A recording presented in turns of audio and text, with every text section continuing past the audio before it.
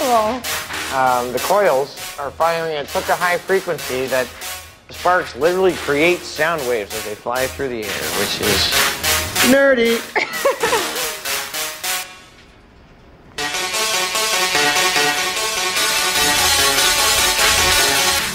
These coils are my life.